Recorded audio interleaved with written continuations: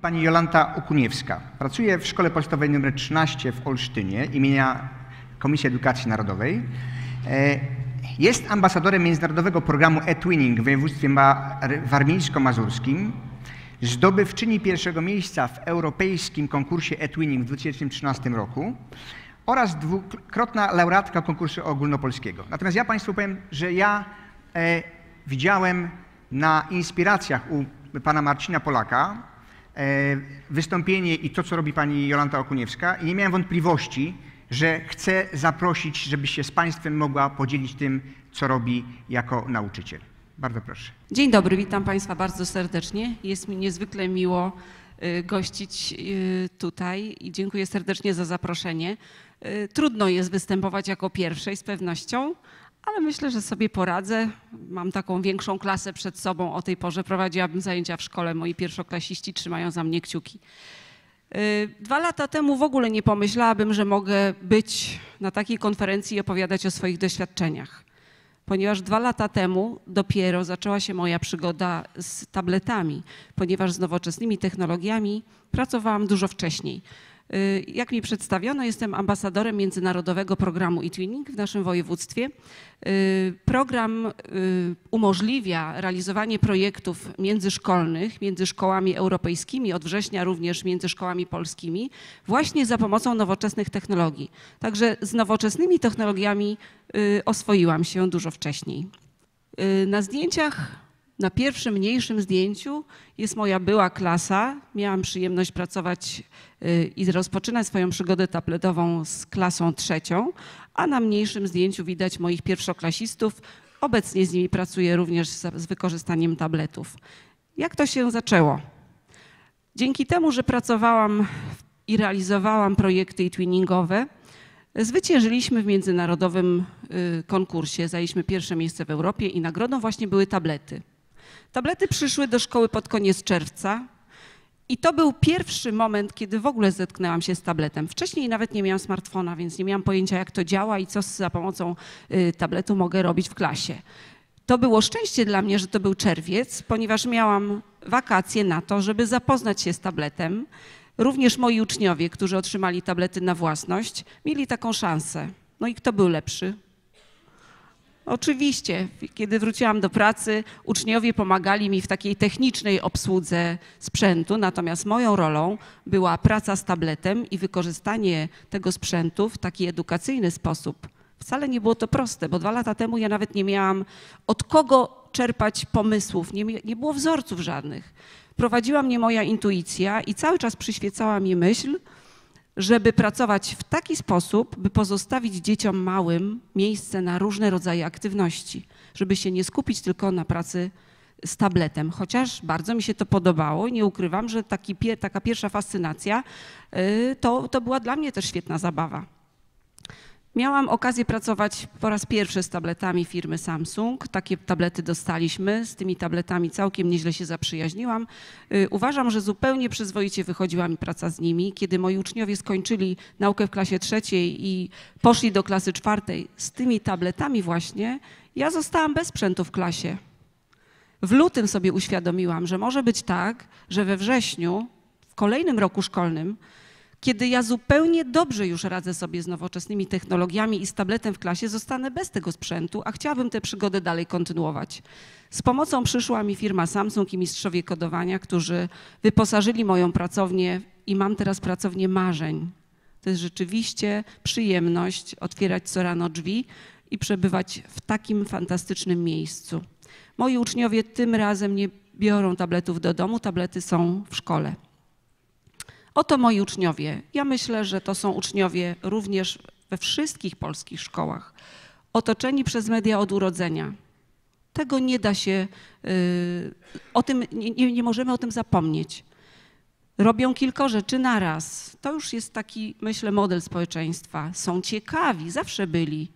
Są zdolni, każdy ma jakiś ukryty talent są niezwykle aktywni. Małe dzieci, na tej aktywności trzeba budować swoje zajęcia. Nauczyciel musi o tym pamiętać i tę aktywność wykorzystywać. Bardzo szybko się uczą. I właśnie dla nich ma być szkoła jutra. Stoi przed nami ogromne zadanie i wielkie wyzwanie, żeby tak pracować, żeby rzeczywiście przygotować. Ja już pracuję z małymi dziećmi, to są 6-7-latki, ale ja już myślę o tym, że one dorosną, za jakiś czas pójdą do klasy czwartej, piątej gimnazjum, liceum, staną się dorosłymi ludźmi. Ja im daję ten fundament, ten start. Są kreatywni dzięki nowoczesnym technologiom.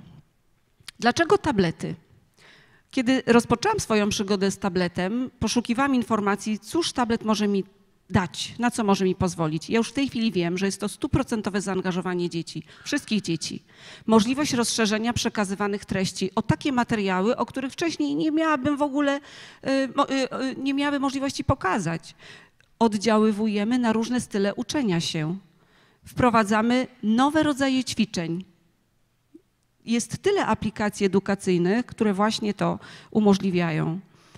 Można organizować dodatkowe zadania, czyli też indywidualizować pracę. Z pewnością tempo pracy jest szybsze dzięki tabletom. Treści, które do tej pory były niedostępne, mogę zaprezentować w klasie natychmiast, od jednego kliknięcia.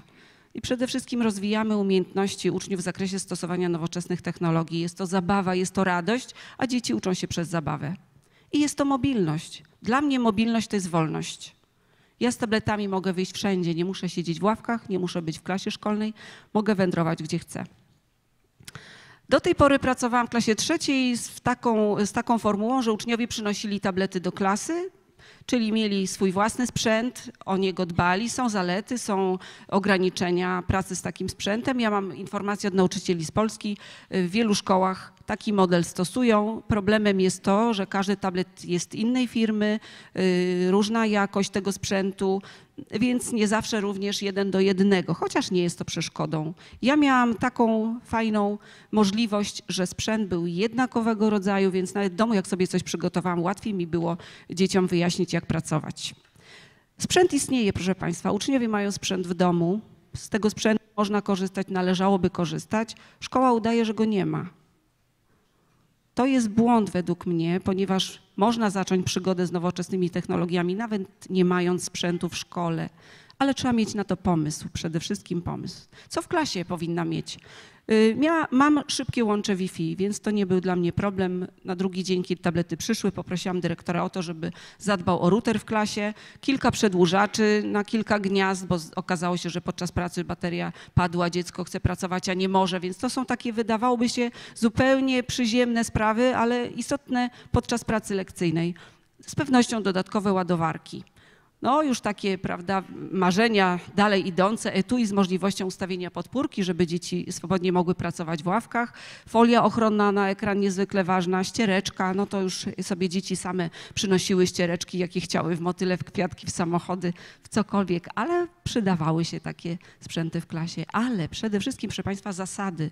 Zasady pracy z, z, ze sprzętem w klasie oraz zasady pracy ze sprzętem w domu bo okazało się, że uczniowie moi w domu też całkiem chętnie z tymi tabletami spędzali czas. A to nie o to chodziło, żeby byli cały czas zaangażowani i cały czas nosem w tablecie. Trzeba mądrze wykorzystywać te nowoczesne technologie, nie tylko w szkole, ale w domu, czyli współpraca z rodzicami, niezwykle ważne. Ja w klasie nie miałam problemu żadnego z respektowaniem zasad w y, trzeciej klasie, wtedy, kiedy uczniowie przynosili swój sprzęt na zajęcia. Nie był to żaden problem. Radzili sobie znakomicie i zasady przestrzegali. To jest chyba taka właściwość uczniów w młodszym wieku szkolnym, że jeżeli coś robią, to robią to na 100% i rzeczywiście są w tym temacie, w którym nauczyciel chce, żeby byli.